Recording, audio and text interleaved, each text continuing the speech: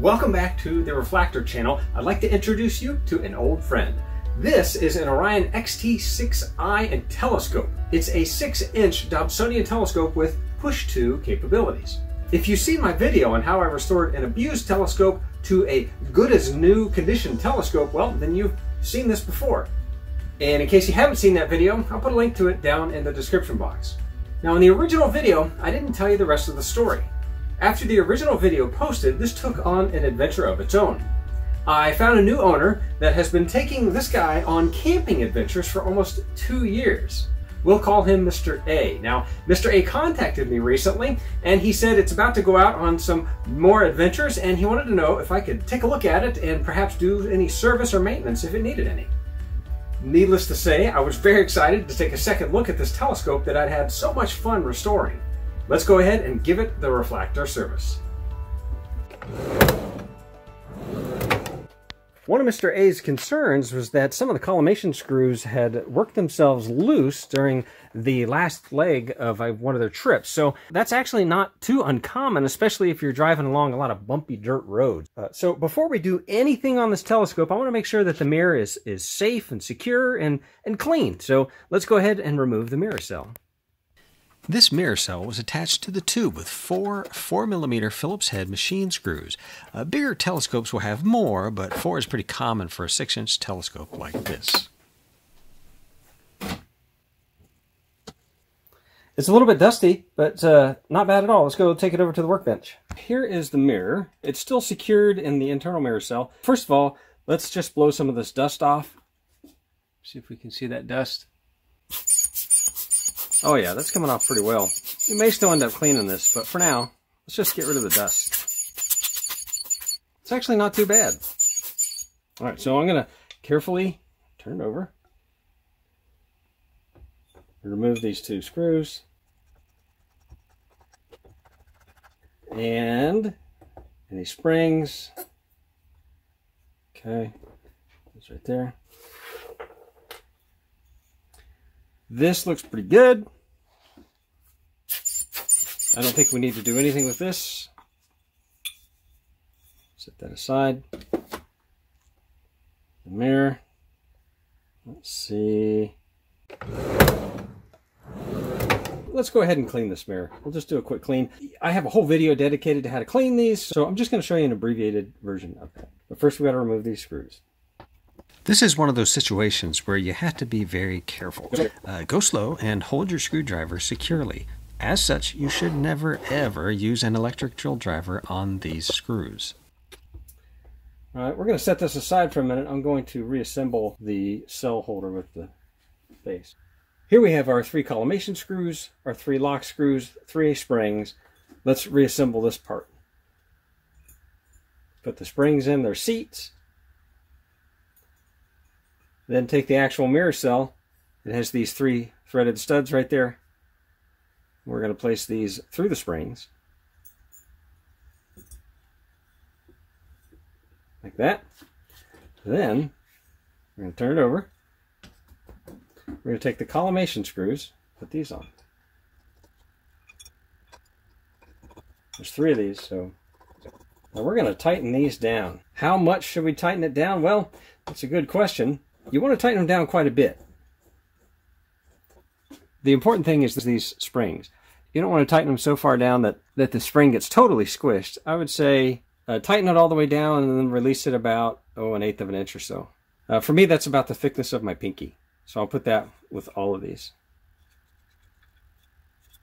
Uh, during collimation, uh, this will all work itself out.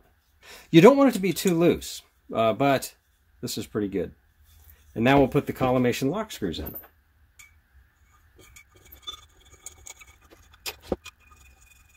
All right, so this is all back together. That's good as new. Uh, in this case, the mirror cell is flush with the outer ring. Let's go wash that mirror. First, we'll add some rubbing alcohol and then some Dawn dish detergent, or as I think our UK viewers call it, Fairy brand dish detergent. Now I'm setting the mirror in the solution. and I'm going to wait a few minutes. Now I'm going to soak some of the cotton balls in the solution and gently rub them in straight lines over the mirror, and then I'll rotate it 90 degrees and repeat that process. Now I'm actually following the recommended method by Orion. When you're all done, you lift it out and you pour some distilled water over the mirror surface. And that should wash away the sudsy water and debris.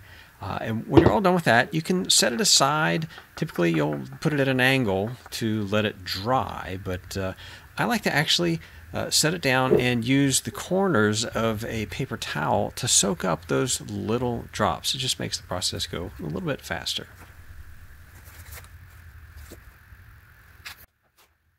Since I had all the equipment out, I thought I would wash the secondary mirror as well. You have to be a little bit more careful though, because I don't want to dip the entire assembly into the water. I'm trying to only treat the front surface of the mirror. Uh, you saw me pour distilled water there over the front of it, and now I'm trying to get all the drops off. And I think I'm actually going to use the squeeze bulb to get uh, most of this off. And it works pretty well. Now while we had this water here, I went ahead and cleaned the dust cap. It had a nice layer of camping dust on it uh, from some fun adventure, I'm sure. But it looks good as new now. Now that the optics are removed and cleaned, I'm going to remove the tube and give this a scrub down with some Windex.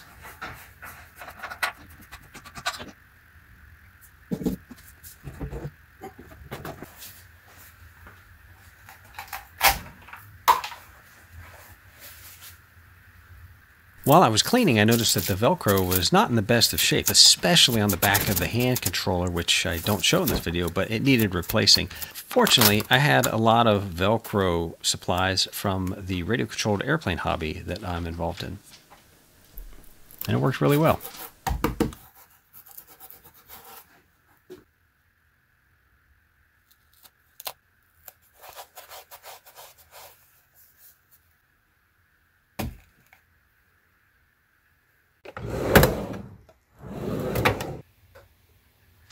Now I will put the secondary mirror back in.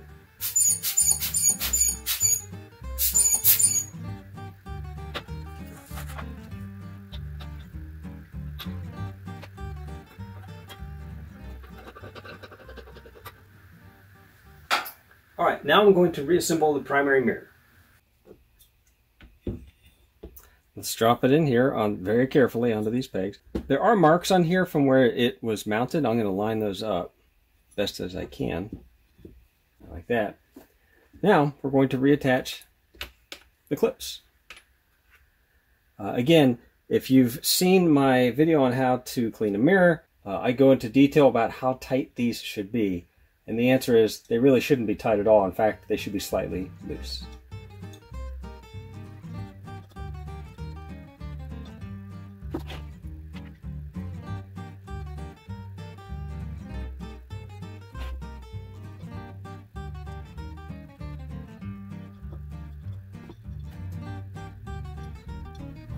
All right. All right, so we're going to put the primary mirror back in. This is our last chance to clean it.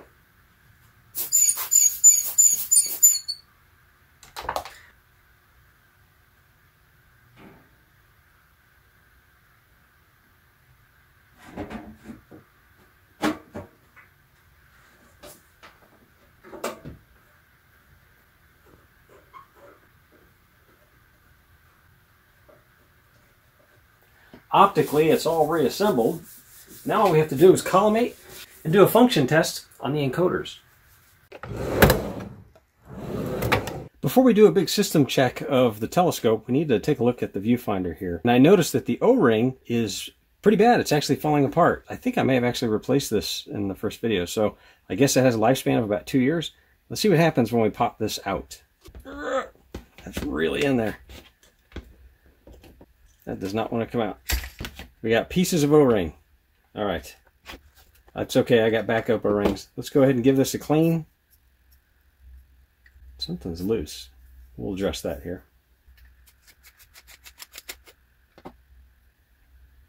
Yeah, that front lens is a little bit loose. That's okay. We have a tool for that. There's two little notches in here, and I'm going to put this in the notches and turn it. That tightened it up. Oof, there's a lot of dust.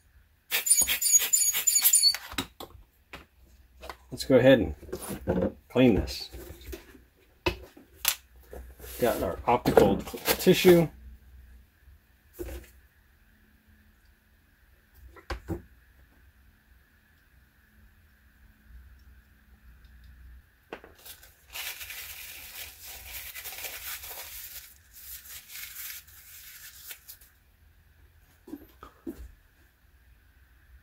Much cleaner. And the inside is perfectly clean. Don't need to do that. And the crosshairs. Crosshairs look pretty good.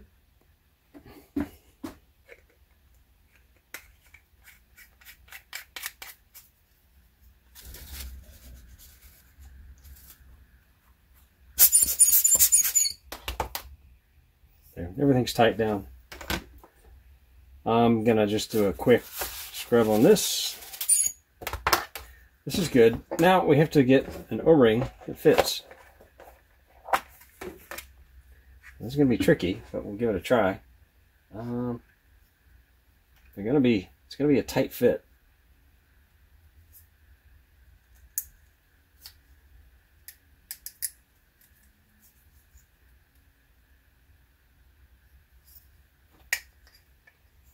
See how it goes.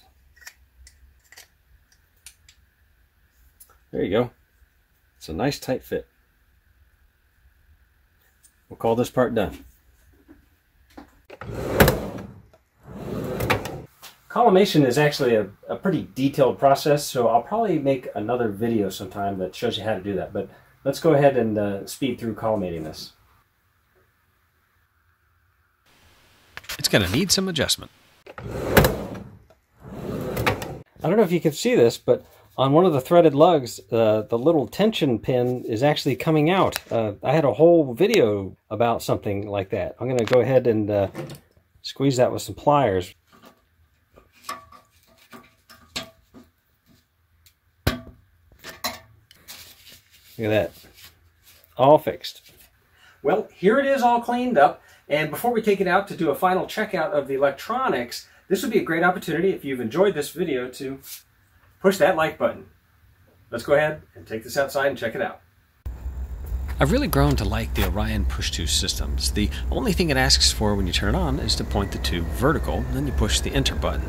Uh, then it asks you to do a two-star alignment. Now in this case I start with Sirius and once it's centered in the eyepiece you push the enter key on the hand controller and then you point it to the second alignment star and once that's centered you pick up the hand controller and you push enter again. Now from that point on it's off to the races. You can search for anything. So let's have it find Jupiter.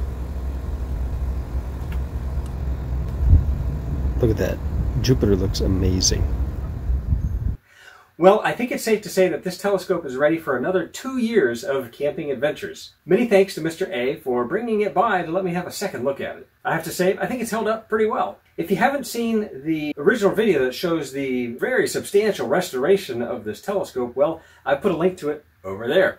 But until next time, clear skies, everybody.